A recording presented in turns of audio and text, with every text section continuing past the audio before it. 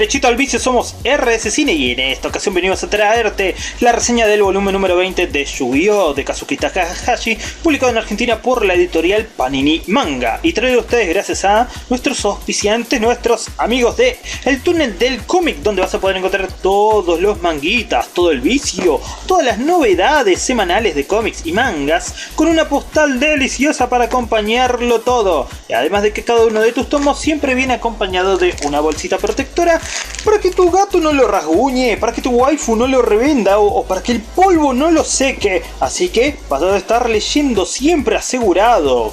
Puro vicio. Pero bueno, vamos a ver que en el volumen número 20 de yu ya acercándonos a las escalinatas finales de esta serie, nos encontramos con el arco final donde Yugi y donde Aten viajan a las memorias del faraón. Viajan a las memorias que están resguardadas en su artículo del milenio, en su rompecabezas, para poder completar su nombre, para poder completar el último desafío y así liberar su alma.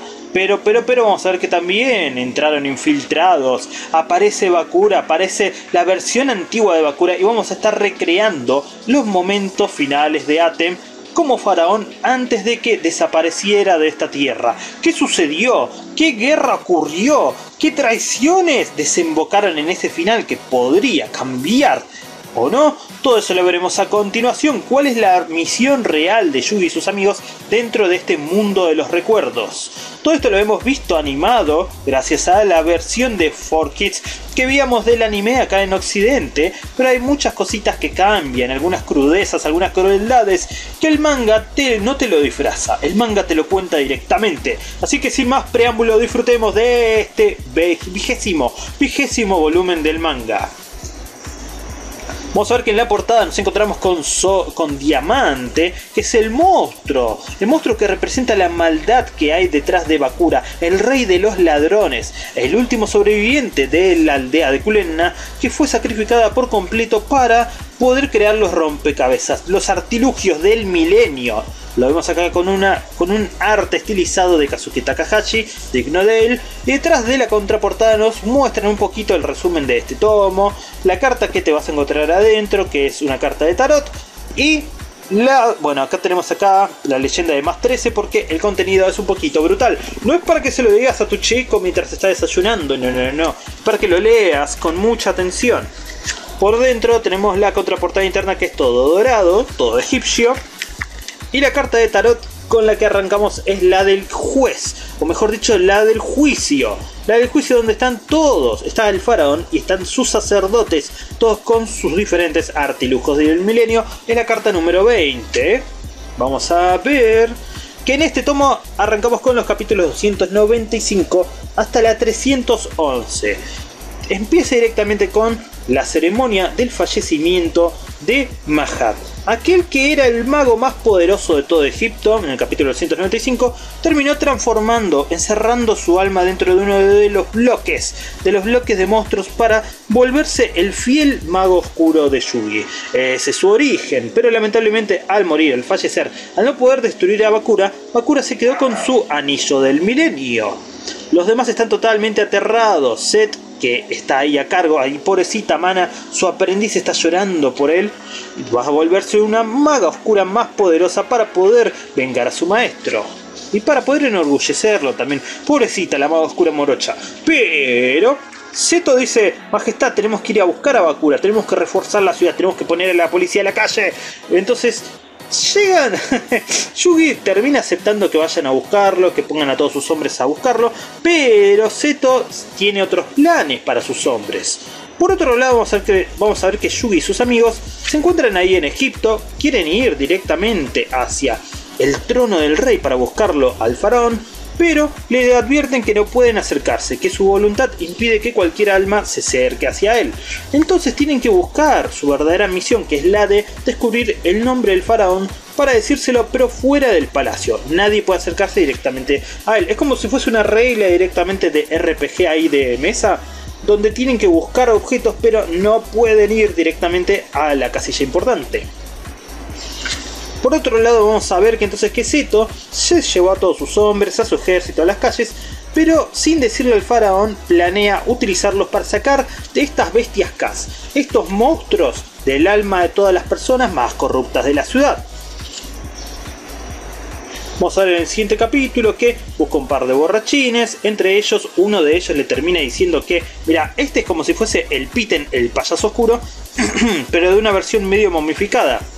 Lo que va a hacer es aprisionar a todos estos sujetos, encarcelarlos, torturarlos y así hacer que su poder de sus monstruos se vuelvan más tenebrosos, más oscuros y más poderosos de usar. Pero escucha de este borracho que hay un dragón blanco legendario, misterioso, tan fuerte como un dios a lo largo del desierto. Es así que se encuentra con esta joven, Kisara, que es maltratada por la gente por ser albina y tener el pelo blanco. Al ser albina, los demás creen que les trae desgracias y le empiezan a tirar piedras. Rijo de puchis. Yugi y los demás intentan impedirlo, pero al final Seto se la termina llevando, aunque no se llama Seto, se llama Seto se la lleva al sentir que está dentro suyo el alma de este dragón blanco. Una vez que se la lleva, le piden que la cuiden, que la encierren, y mientras tanto Yugi y los demás llegan al palacio pero no pueden ingresar. Tiene que haber una forma de poder acercarse al faraón. Ahí lo vemos a Atem, que siente la presencia de su amigo pero no sabe exactamente qué es él. Y por otro lado Bakura ya empieza a mover los hilos empieza a recordar qué sucedió en el pasado y sabe qué movimientos va a hacer para poder lograr en este nuevo juego ganarle al faraón. Vemos ahí que el malandrín, el rey Bakura, el rey de los diferentes ladrones, se lleva ahí una panzada enorme que ya es un meme de él, de comérselo todo como si nada, y con sus nuevos poderes liberados, gracias a la sortija del milenio, va a poder aniquilar a cualquiera que se le cruce en el camino. Ya no necesita directamente utilizar a Diamond, sino que él ya posee la fuerza de la oscuridad. Por otro lado, a Zeto le dicen que sí o sí tienen que torturarla y sacar todos los poderes posibles de, sus prisioneros, incluyendo, incluyendo a Kisara. Su papá trata, que él no sabe que es su viejo encima, trata de decirle que tiene que ser más poderoso que el faraón, que tiene que tener monstruos más poderosos que los dioses egipcios para así tomar el trono. Les va lavando el cerebro de a poco. Pero Bakura planea meterse de nuevo en el palacio para robar más objetos, más artilugios del milenio. Y al principio podía haberlo matado acá directamente a este sacerdote, al viejo de Akenan Kanen, pero prefiere dejarle un poco de su oscuridad en el ojo del milenio. Acá vemos sus poderes cuando intenta enfrentarlo con uno de los monstruos Cas. Acá Diabon mira cómo evolucionó, es un monstruo total, como si fuese un obelisco totalmente oscuro. Destroza directamente las losas de los monstruos antes de que el viejo los pueda invocar. Acá Zeto tiene unos pensamientos oscuros al ver el cuerpito maltratado de la pobre Kisara, pero, pero, pero, todavía sigue pensando en sacarle su dragón blanco. Invoca acá unas bestias, Bakura los destroza, le arranca el ojo y le mete oscuridad cuando los demás terminan encontrando al viejo Akenakaden directamente tirado en el piso. Van a buscarlo, pero todo esto es una trampa. Directamente el faraón. Ahí vemos a Bakura corriendo con su Diabon y acá lo vemos a Yugi corriendo a caballo. Es genial cuando los mangas dibujan caballos porque el caballo tiene una forma aerodinámica, estética que requiere de mucha, mucha precisión para darle esa velocidad, darle ese, darle ese movimiento en el manga. Vamos a ver que invoca a Slifer para poder detenerlo. Slifer, el dragón del cielo. Ya es el segundo dios egipcio que el faraón invoca en esta saga. Ver que lo busca en el desierto. Yugi y los demás lo encuentran que estaban ahí en la puertita. Lo persiguen y empieza el combate entre Diabon y Slifer. Slifer es el dragón del cielo, tiene toda la ventaja al tirar rayos, al tirar relámpagos con su boca, pero Diabon tiene los poderes de la oscuridad. Este se puede mezclar con las noches, con la, con la noche oscura directamente y atacarlos desde diferentes lugares. Pero en un principio Bakura lo que va a hacer es meterle, acá le mete, le llama el juego de la masacre, le quiere meter quick, le quiere meter miedo al faraón y empieza a atacar a la gente del pueblo, a todos los civiles que no tenían nada que ver. Entonces Slifer se empieza a escudar utilizando su propio cuerpo para salvar a estas personas. Vemos que Slifer pierde puntos de vidas, recuerden que todos los monstruos Kas invocados en este antiguo Egipto consumen los puntos de vida del, del dueño, o sea, del faraón en este caso. Vamos a ver entonces que el Lifer se debilita, el faraón se debilita, intenta acertarle un disparo en la noche, pero Diabon se oculta y contraataca y lo daña y lo empieza a aniquilar al pobre Slifer que va cayendo en picada hacia la tierra nomás. Y cuando está a punto, vamos a ver que acá le hace un discurso enorme sobre venganza, porque recuerde que Bakura no solamente es un ladrón, sino que es el único sobreviviente de un pueblo que fue azotado para crear estos artilugios del milenio. Vamos a ver entonces que después de ese discursillo lo está a punto de aniquilar con Diabon, a cortarlos con sus garras hasta que aparece el monstruo de Set, el guardián dúos, el guardián espiritual con la espada que solamente te recordará a cierto, a cierto monstruo de Kaiba. Y defienden al faraón, claro que sí. Pero el faraón junto con los demás, mira esta imagen que podría ser completamente a color, muy copado, muy tonalizado. Empiezan el contraataque contra Bakura, pero, pero, pero, Bakura sigue sigue totalmente ahí en ventaja, oculto en la oscuridad de la noche, atacando los de todos y aún así logra aniquilar a Slifer que se puso en medio del camino de los demás para proteger a sus guardianes.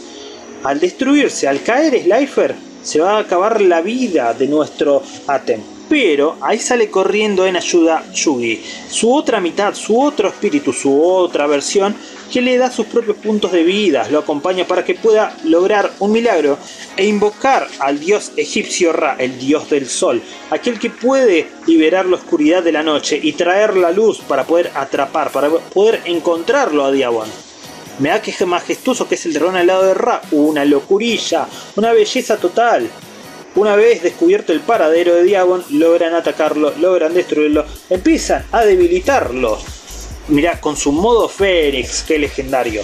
En un principio solamente estaba en el anime, solamente estaba en el manga, pero después hizo la carta del modo Fénix. En el TCG del juego. Mientras tanto, acá es donde la cosa se pone turbia, porque Bakura está a punto de perder. Aparece Zork, pero no es solamente Zork esta es la oscuridad misma. Este es el cuerpo de Akenadem totalmente poseído por la oscuridad. Se le aparecen sueños, totalmente ennegrecido, mientras que el dios Fénix quema con de todo a Diabon. Vamos a ver que Bakura está perdiendo, está a punto de morirse, sí. Este final en el que Yugi estaba a punto de morir es cambiado gracias a la presencia de Yugi chiquito y de sus amigos este mundo de memorias ha cambiado su final. Pero, pero, pero, vamos a ver que la oscuridad todavía permanece ahí. Bakura sigue ahí, y es ahí donde Zork, esta versión de Zork Necrofades, este, este te puedo decir, esta, este sacerdote de la oscuridad, nos va a revelar, y le va a revelar a su propio Akenadem, la verdad de este mundo le dice que este es su versión totalmente poseída por lo es la oscuridad, chicos, es la oscuridad misma. ¿Cuántas veces lo tengo? O sea, ¿cómo decirlo de varias formas? Es la oscuridad. Pero no es una oscuridad presente, no, es una oscuridad del pasado. Le revela que él viene del pasado, que este mundo son solamente los recuerdos encerrados en el rompecabezas de Yugi, que su, su alma y el alma de Yugi quedaron encerrados después de una batalla entre los dos. En ese futuro Yugi caería directamente ante la batalla contra Bakura. Este terminaría, Kenaden terminaría poseyéndolo, poseyendo todo el mundo y creando una guerra entre sus almas y el rompecabezas terminaría encerrándolos a los dos. Es por eso que en este mundo de recuerdos y Bakura, mira, Bakura se arrodilla ante él tienen que pelear nuevamente para ver quién lo conquista y quién escapa al mundo real. Es así como una especie de, cambio de, historia. Es, así como si fuese una dimensión aparte este mundo de recuerdos. Es, no es, es como si fuese el cielo, pero en las memorias del faraón. Es otro mundo aparte. Pero entonces ahí aparece en el cielo como si fuese un gran maestro de un juego de rol total y utiliza sus poderes oscuros para revertir el tiempo, rebobinar los recuerdos y así lograr que Bakura sobreviva, que no invoquen al dragón a la guerra, alejándolo a Yugi de sus amigos, alejándolo al faraón de aquel que le podía dar energía para esta invocación. Una vez que logra hacer eso, Yugi tiene que acercarse directamente a Atem, pero Atem no logra revertir la situación y Slifer cae. Entonces Atem muere y cae ante la oscuridad. Va, en realidad no es que muere, sino que le queda algo de vida. Pero una vez que logran eso, el otro Bakura del futuro, sabiendo ya todos sus planes, va a impedir que Yugi y los demás se acerquen al faraón. Y es así como empieza una seguidilla de peleas entre ellos y Bakura.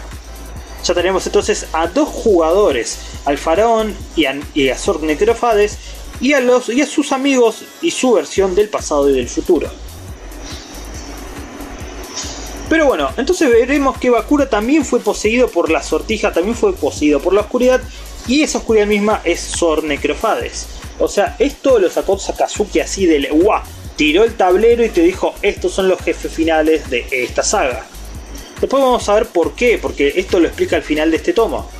Bakura va a impedir entonces que Yugi y los demás se acerquen. Y para eso van a, jugar cartitas. Sí, Yugi y los demás con el poder de su mente y de sus memorias para poder invocar también sus barajas y sus duelos de discos. Va, sus discos de duelos. Pero, pero, pero empieza Joy. Joy va a ser el que pelee contra Bakura. Van a invocar sus diferentes monstruos sin saber que al morir, al terminar esta batalla, el que pierda pierde su vida. Pero bueno, Yugi intenta atrapar a Bakura con sus poderes ya que no puede invocar más monstruos, pero Bakura lo termina tirando en la oscuridad. Es ahí donde los recuerdos del faraón terminan, es ahí donde su memoria y su vida habría acabado. Pero, pero, pero, mientras tanto, en el capítulo El nacimiento de los artículos del milenio, vamos a ver cómo años atrás, el antiguo faraón, el papá de Atem, el papá del faraón actual, es quien gobernaba la ciudad, tenía una rebelión encima, estaba a plena guerra, y su hermano Akadem le dijo que conocía cierta magia para poder crear artículos del milenio para utilizar estos artículos de hechicería y así lograr terminar esta guerra. Lo que no le dijo es que costaba vidas humanas, necesitaba un montón de vidas y para eso iba a utilizar a la aldea de Kulenna para sacrificarlos y crear estos poderes de la oscuridad. Es ahí donde vemos a un pequeño Bakura, el único que sobrevivió a esta masacre total. O sea, el faraón no lo sabía y el hermano lo hizo a costa de, de obtener poder directamente. Fundió todas sus almas y así creó estos artículos en la tableta del, bueno, de los artículos. Siete días después de lo sucedido, vamos a ver que na, na, na, estrenaban todos sus artículos del Millennium, detenían a los bandidos, podían invocar monstruos por primera vez y acá lo tenemos a Exodia gigante, ¿sí? El faraón tenía el poder del poderoso dios Exodia. Pero el tiempo pasó, Bakura sigue planeando cómo quedarse con todos los artículos, cómo invocar, porque una vez que meten todos los artículos juntos, invocan el poder de la oscuridad que es el poder de Zork. Por otro lado, sigue la trama de Seto, que está con Kisara, que tiene que utilizar ahí sus cartitas. Y del papá que trata de, de llevarlo a la oscuridad misma para que obtenga el lugar del faraón que ahora está desaparecido y que podría haber muerto. Pero Seto entonces ve cómo torturan a, torturan a los prisioneros para que sus monstruos se hagan más y más fuertes. Es ahí donde el viejo mete a Kisara y la están a punto de violentar por completo, pobrecita Kisara, toda presionada, toda albina. Pero vamos a ver que Seto se mete en medio del camino para proteger su vida, no va a dejar que la lastimen, que la mate. Es así como cuando ambos caen a punto de morirse, a punto de estos dos, a punto de ser atasajeados por estos monstruos, aparece el alma del dragón blanco. Vamos a ver más adelante. El dragón blanco surge solamente cuando Kisara está en peligro y cuando pierde la conciencia. ¿Qué tiene especial este poderoso monstruo que es más fuerte que un dios mismo? Que estas nace del alma de Kisara, de sus puntos Va, no de sus puntos K. Y entonces, Kisara la está, lo está protegiendo con su alma, básicamente. Y es así como el sacerdote le dice que tienen que sacar ese poder y dárselo directamente a Kaiba. Que para eso tienen que romper el recipiente que es el cuerpo de Kisara. Pero Kaiba como que quiere ese dragón pero no va a aceptar que maten a la pobrecita Kisara.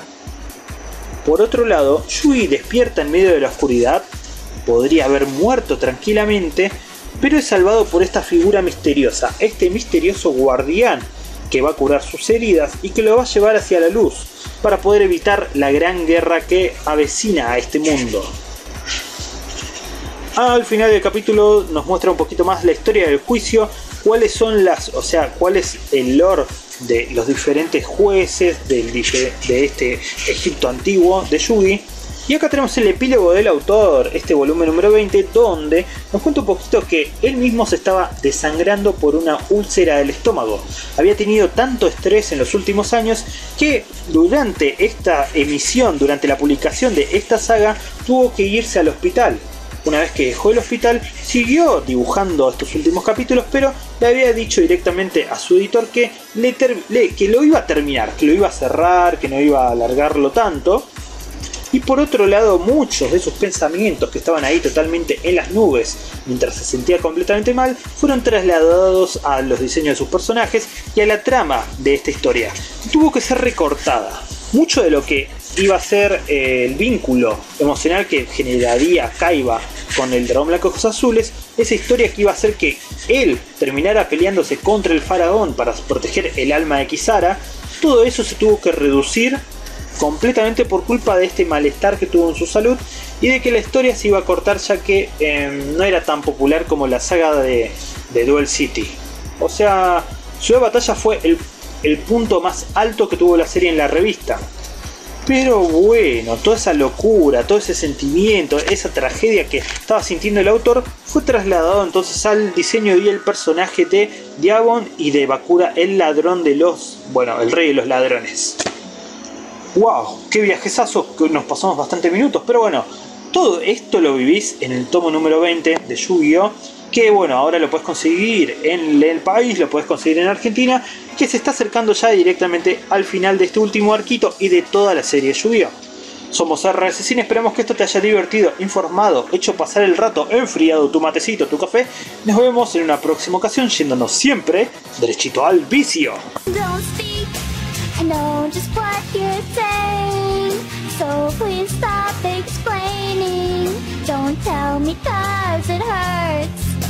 No, no, don't speak.